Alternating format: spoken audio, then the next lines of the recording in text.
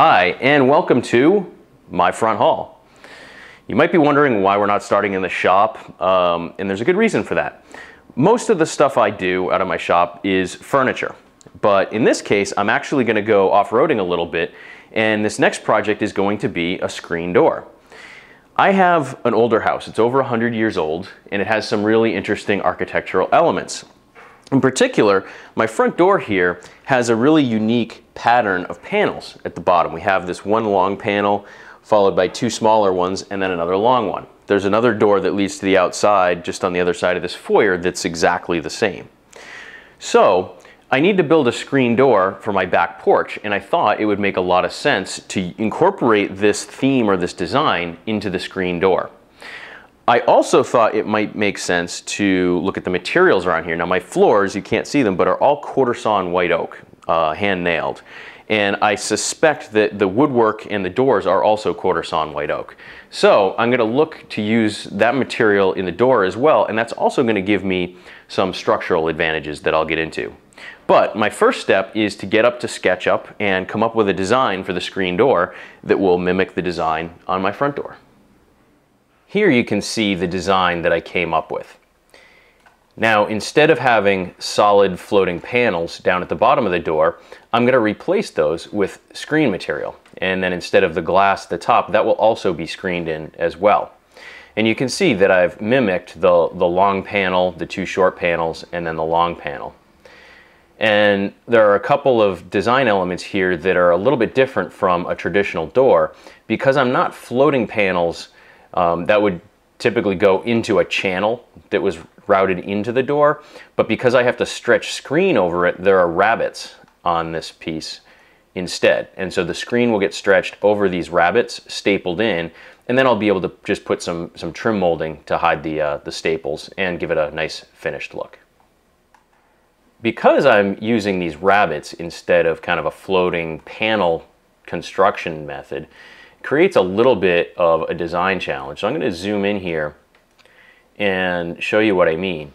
So rather than trying to cut all these rabbets stopped, that's going to be pretty challenging.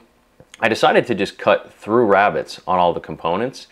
And then what I've done is I've created a mating rabbet on the backs of all of the cross pieces. So if I slide this out, you can see that there's a rabbet cut in the back of this piece here. So that will just fit on top of here. And that'll actually give me a little bit extra long grain to long grain glue joint as well.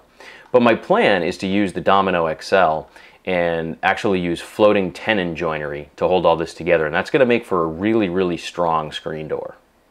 So my next step is to go work on lumber selection and then I can think about how to mill this to make sure that these really long pieces stay nice and flat.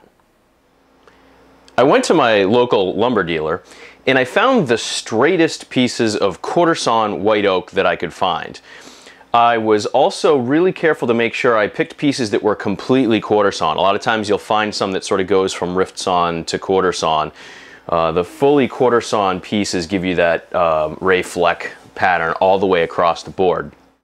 The reason quarter sawn material is so stable is because of the way that wood moves seasonally the majority of the expansion and contraction in a piece of wood happens along the grain lines. So with a quarter sawn piece of stock, the seasonal movement would actually happen widthwise. So it'll be pretty minimal because it's a fairly small distance. Wood doesn't move nearly as much from tip to tip on quarter sawn wood like this. So this piece really won't expand and contract in this direction much seasonally, making it the ideal material for something like a door. One of the other reasons that people really like to use quarter sawn white oak is that it really has an interesting pattern that emerges once it's quarter sawn. If I zoom in here, you can really see those rays or what's called medullary rays. And it's something that you traditionally would see in arts and crafts or Stickley furniture. And some people actually go to the extent of fuming the material, which actually enhances those medullary rays. For my case, I really just want this to match the quarter sawn white oak that I have in the interior of my house. So I'm not too concerned about really making those stand out, but I do want it to look consistent with the rest of the architecture. I also needed to find a piece that's really, really straight because I'm starting with five quarter stock and I want to end up with about 7 8 inch thickness for my door. And if you have a piece that's at all bowed or twisted or cupped, by the time you plane it across the entire length of this, you know, seven or so feet, you end up with a half inch of stock, and that's really not a good use of material. So I did find a piece that was really, really straight, quarter sawn throughout the entire width of the board. And I went and skip planed this and jointed it yesterday. Uh, just to kind of make sure I could source everything out of this one board and also to take sort of an even amount of stock off each side. And then I just let it sit in my shop overnight.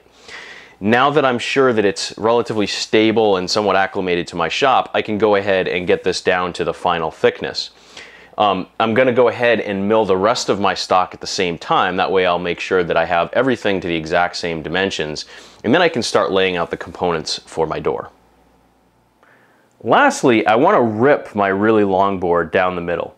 We've all had cases where we've brought home a piece of wood, dimensioned it, ripped it, only to find that it bent apart or sprung out. Um, a lot of times that's a result of case hardening. So I do want to do the final rip here and then let this kind of come to equilibrium before I do it to my final dimensions. That way I have a little bit of wiggle room in case this thing does move a little bit after I rip it. One of the big challenges with this door and working in a small shop is having enough room to maneuver the long pieces.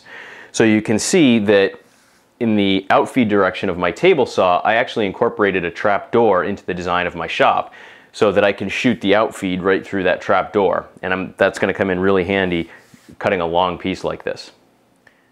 Even though this is a fairly long piece of stock, I do have uh, an infeed support back here. I have an outfeed support there, and then I have the window as well. So with any luck, I won't have too much trouble.